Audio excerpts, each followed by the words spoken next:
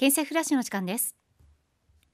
紀伊半島大水害から10年の節目を迎え復興を支えた人に感謝し今後の災害対策を学ぶシンポジウムが開かれました。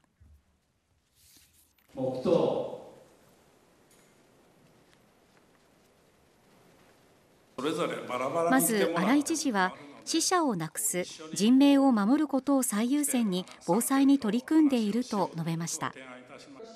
続いて筑波大学准教授の内田太郎さんが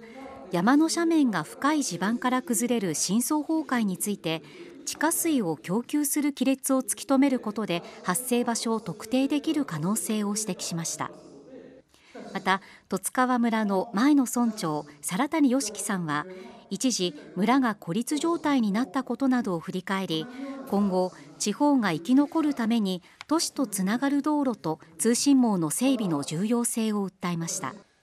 そしてパネルディスカッションでは地域に寄り添う人材を奈良県全体に広めることが地域づくりにつながるなど活発に意見が出されました。県立図書情報館で恒例の図書館劇場と題された公開講座が開かれました。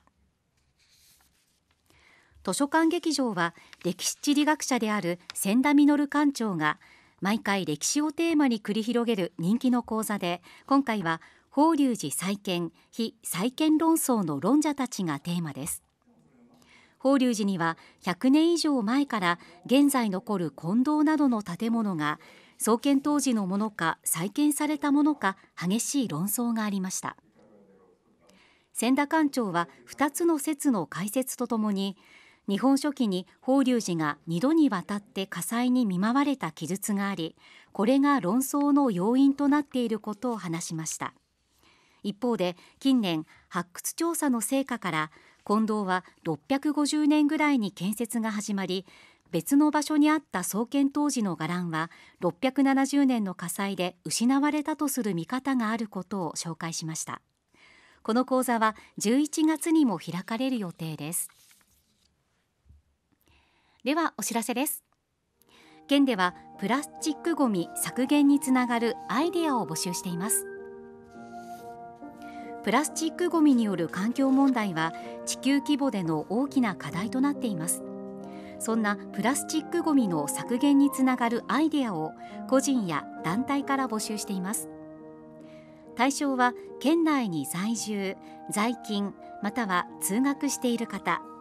団体の場合代表が県内に在住などが条件です。小中学生と一般の部があり郵送ファックスまたは県ホームページから応募してください。締め切りは10月29日です。アイデアの中から最優秀賞と優秀賞を選び最優秀賞には1万円分優秀賞には5000円分の図書カードを贈呈します。詳しくは奈良県廃棄物対策課までお問い合わせください。感染者数の減少を目指して新型コロナワクチン接種について県民の皆様にお願いです。県では新型コロナワクチン接種を進めることにより感染者数の減少を目指しています。特に早めの接種をお勧めするのは重症化する傾向にある40代50代の方。感染者のうちおよそ6割が大阪関連で占められていることから大阪などに通勤通学している方。そして増加している家庭内感染を防止するために小さいお子さんのいる世帯の成人の方です。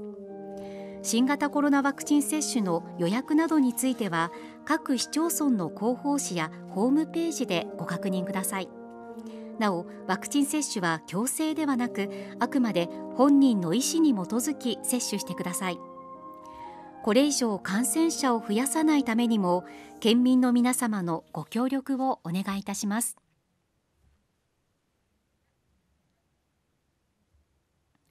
以上県政フラッシュをお伝えしました。